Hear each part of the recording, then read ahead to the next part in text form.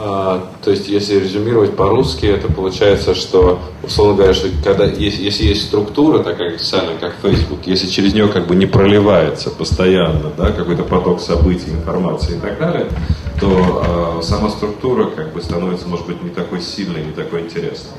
Она не так часто активируется, и поэтому, как бы, может быть, в ней не такая большая оказывается ценность. Хотя это social collaborative filter, как бы, нуждается тоже в контенте.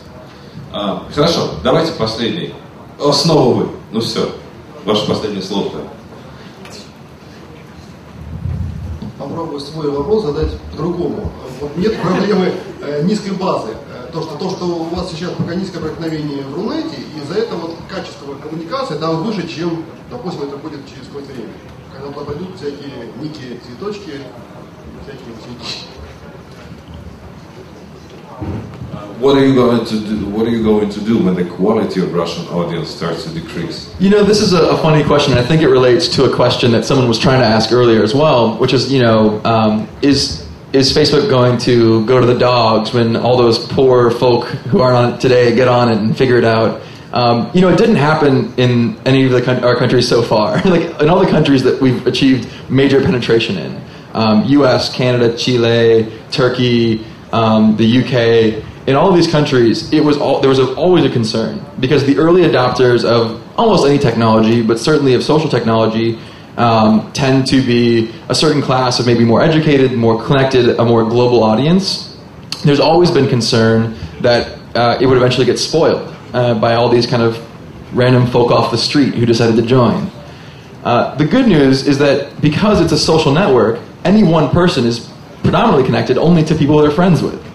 Um, and so you control your connections. You control whose information gets sent to you and whose information uh, doesn't. So ultimately, uh, no, it's, it's a, there's a beautiful kind of elegance to the way it scales as more and more people adopt the platform, which is that for each person, it's exactly what they need it to be because they are the ones who control how it behaves for them.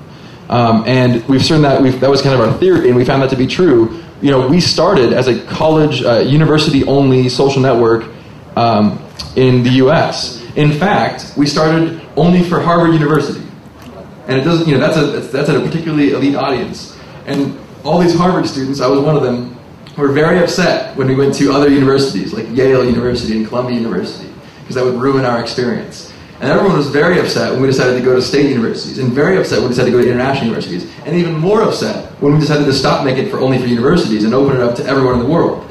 But at each step, um, they've stuck with us because the value you create is much, much greater. Um, my, my favorite story to emphasize this is like, I want you to imagine the coolest feature that we have not yet built that we could build on Facebook. Just in your head, what is the coolest thing we could build? Now I give you a choice. You can either have that cool thing, or you can have your best friend on Facebook. Hopefully, most of you had good, have good best friends, and you picked your best friend. Otherwise, you have a very cool application idea, and please come talk to me. Um, it, it's this property of social networks. The thing that you do to add the most value in the world is to add other people to the network, people who you care about, people who aren't currently there. There is nothing no widget we could build, no piece of software we could build that is nearly as cool as adding your friend, your family to the network. So we have, we must grow. Ну что, я надеюсь, что это стало еще понятнее. Вот, я говорю, значит, последние две вещи можно сказать. Значит, 21 в Сан-Франциско будет э, конференция F8, э, фейсбуковская. Может быть, вам будет интересно, можете посмотреть, там будут анонсированы последние какие-то фичи социальные. Ческор как русский бета-партнер. Вы можете посмотреть, 21 числа мы откроем тоже все эти фичерс у себя.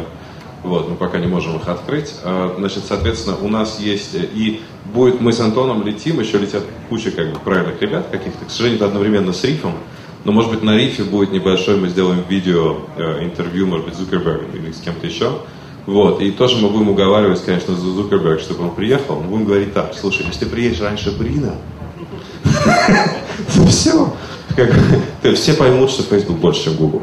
Вот. Uh, so you must help us. Okay? Okay. Uh, все. Спасибо большое. Если есть какие-то вопросы, еще нет, все. До свидания.